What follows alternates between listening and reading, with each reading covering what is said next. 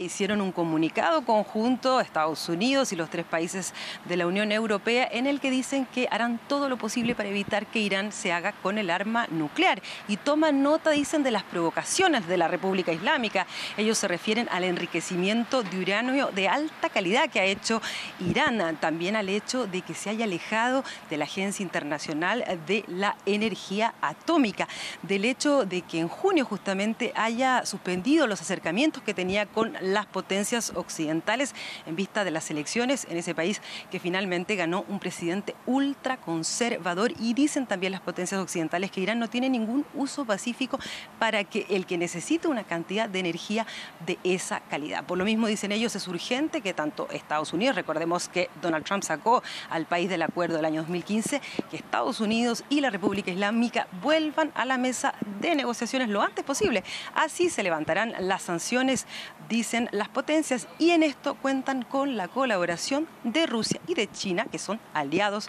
recordemos, de Irán. Bueno, Erika, ¿y el impuesto mínimo global ya está listo sobre el papel?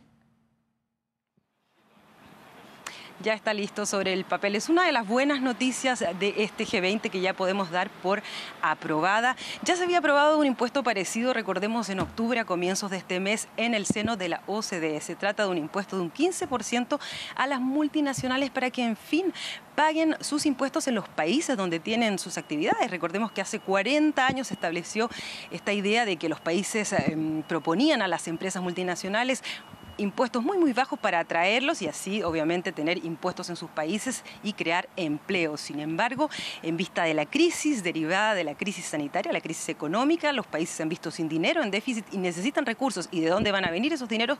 Justamente de esas multinacionales como las GAFA, por ejemplo. Entonces, ahora van a tener que pagar esos impuestos en los países donde tienen las actividades. Es una manera, obviamente, de redistribuir los ingresos mundiales. Es una de las buenas noticias ya aprobada. Otra que está casi, casi segura eh, es la, con respecto también a la crisis sanitaria, que era el tema justamente de hoy, es la vacunación a mediados del próximo año de un 70% de la población mundial. los países desarrollados del G20, la población está casi en más de un 60% vacunada. No es el caso en los países pobres, donde apenas un 4,5% de la población tiene una dosis de las vacunas. Es una también de las medidas que está casi segura, segura, aprobada. Y la otra es que Estados Unidos está empujando para crear un fondo en el Banco Mundial para financiar las vacunas justamente y que el mundo se encuentre eh, más preparado para hacer frente a una pandemia como la del COVID-19.